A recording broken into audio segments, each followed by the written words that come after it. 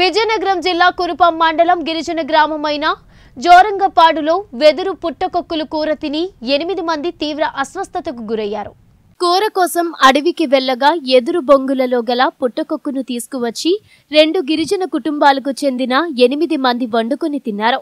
కూర తిన్న గంటలో వారికి వాంతులు తీవ్ర కడుపు నొప్పి రావడంతో కురుపం ప్రభుత్వ ఆసుపత్రికి తరలించారు.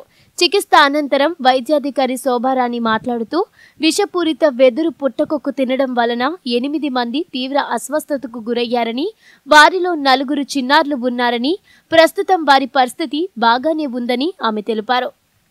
ఎదురు కుక్కలు తెస్తే అది వండించుకుని అమ్మ కూర తేరండి అనుకున్నట్టుంటే తేపోయినాము మా మనవరాలతో తిన్నాము. పిల్లలలో తినేస్తుంటే అలాగా ఒప్పించడం దాకా ఆట వచ్చింది ఆట వస్తే మా యజమాను కొండ కాసు వస్తున్నాడు.